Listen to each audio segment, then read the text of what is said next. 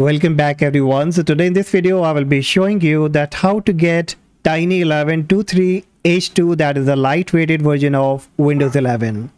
Now we all know the basic requirement the minimum requirement for Windows 11 is 4 gigabyte of RAM, 64 gigabyte of storage and it need the TPM secure boot and the high CPU. But what if you have the low end PC? So for that Tiny 11 is the best option because it only need 2 gigabyte of RAM and only 8 gigabyte of storage. And once you install this Tiny 11 on any of your low-end PC or laptop, it will be working very smoothly and you will not be having any kind of problem.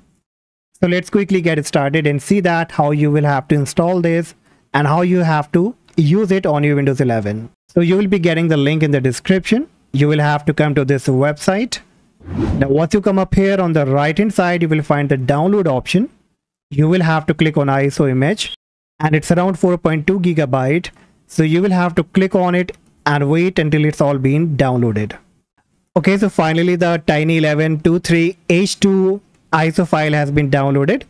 Now what you will have to do next, you need to connect your pen drive or USB that you want to make bootable USB for Tiny 11. Connect to your computer then you will have to come to this website of Rufus that is a very popular tool to make such kind of bootable USB. So come to this page, scroll down, you will find Rufus 4.2.exe. Click on the link, download it. It's a very small in size. And once it will come up, it will come up with a very simple box like this. And as soon as it will come up, on the very top, you will find the device option that will automatically detect your pen drive but still you need to make sure that it has detected the right USB that you want to make bootable Tiny 11 bootable drive. So click on the drop down, choose the right one. Then in the boot selection, you need to locate to that ISO of Tiny 11 that you have downloaded. So click on select, select the Tiny 11 23H2, click on open and all the options will be selected. In the volume label, you can just name it tiny 11 23h2 so that's okay. Then you have to click on start. So now you can see it give you a menu option like remove requirement for 4 gigabyte plus ram secure boot and tpm so it will be automatically bypassing all these options. Now the next one is remove requirement for an online microsoft account. So if you don't want to start your windows 11 with microsoft account then you can also keep this option checked and if you want to remove Microsoft account, then what kind of local account you need. So you can type your desired local name and then you can keep the other option checked as well. Then click on OK. Now you will be getting a final warning that all the data in this USB pen drive will be deleted. So make sure that you don't have any kind of important data. So you can take the data backup first and then you can start the process. So once you're confirmed, you have to click on OK and the process will now be started and it will only take few minutes like 4 to 5 minutes to complete the process. Alright, so it's now all been done and it just took about a minute. So finally our Tiny 11 bootable USB is ready. So what you will have to do next, you need to take out the USB from this computer and connect to the computer where you want to install Tiny 11. And once you have connected the USB to the computer, you will have to start the computer in the BIOS mode so that you can change the boot priority because you need to boot from your pen drive that you have made bootable USB so that the next time when the computer start, it can boot with that.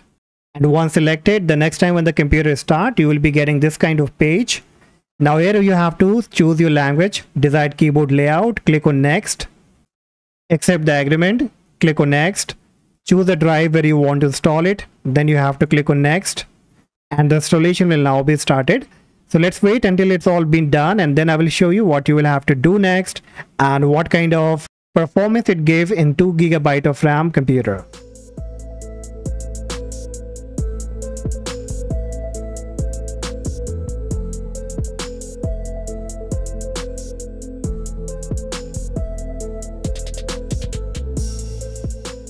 Alright, so finally the Tiny 11 has been installed now and you can see that there is not any kind of bloatware.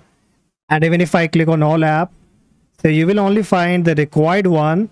And anything like Microsoft Team, the GoTo and all these bloatware has been removed.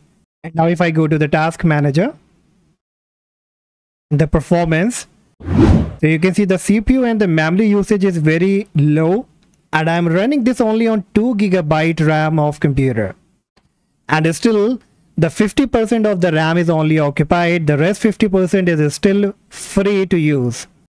And it will be working very smoothly without any kind of problem.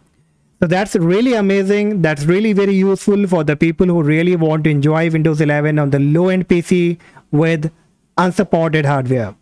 So that's all guys for today. Hopefully you will enjoy this video and found this video helpful. Then do not forget to like and subscribe and I see you in the next video. Bye-bye.